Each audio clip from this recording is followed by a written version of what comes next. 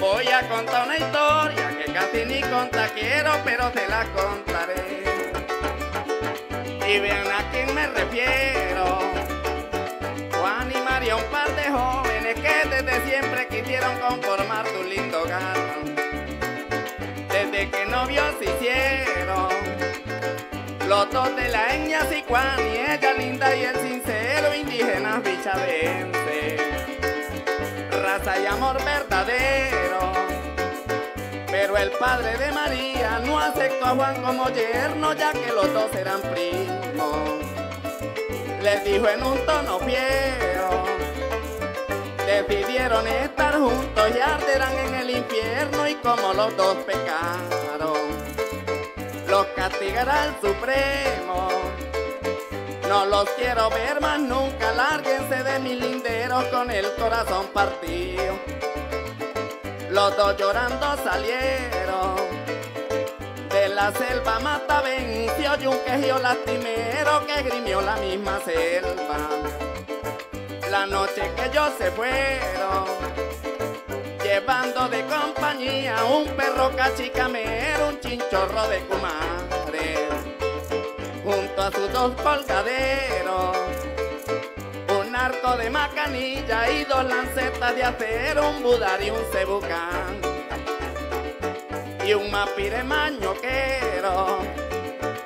Con el alma entristecida, un largo viaje emprendieron al salir a la sabana. Y oscureció el cielo entero, pintó en el aire un relámpago, se escuchó sonar un trueno y empezó a caer sobre ellos un torrencial aguacero que les golpeaba la cara, pero no se devolvieron. Después de andar largas horas por el oscuro sendero, decidieron escampar en la pata de un ubero y empezaron a pedirle al dios del agua y el juego que si aún los acompañaba detuviera el cruel invierno, nunca los abandonó, él siempre anduvo con ellos porque escampó de inmediato aquel violento aguacero y continuaron su viaje dos indígenas guerreros.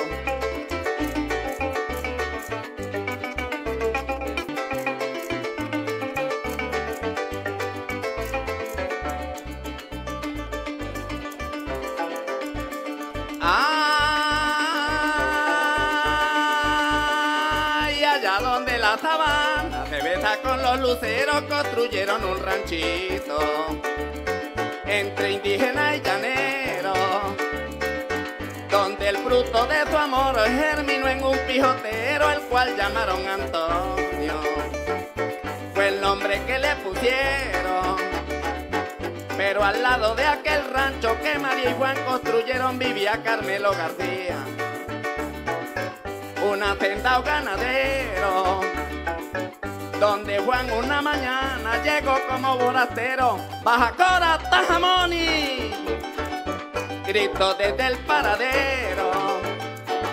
Yo vine a buscar trabajo, así sea de conuquero, Carmelo dijo que sí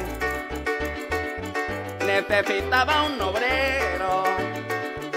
Y al cabo de un corto tiempo, hasta compadres se hicieron, Antonio era como el hijo, que nunca tuvo Carmelo.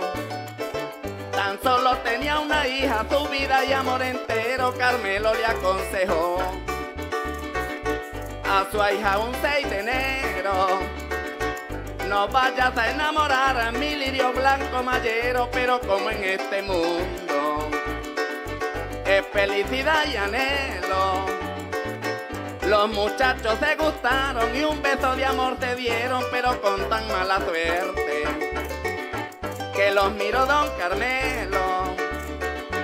Y sacando su revólver lleno de rabia y de celo, le dio un disparo a su ahijao y le gritó traicionero. Antonio salió corriendo y montó en su sillonero. Papá me vengo muriendo, pegó un grito en el tranquero. Padre y madre al mismo tiempo, corriendo al patio salieron y agonizando en la tierra, miraron a su heredero. Juan exclamó con nostalgia, Señor, ¿qué es lo que te debo? Me corrieron de mi selva donde la vida me dieron y hoy me quitan la ilusión. Debe volar mi polluelo, solo éramos tres indígenas buscando un futuro nuevo.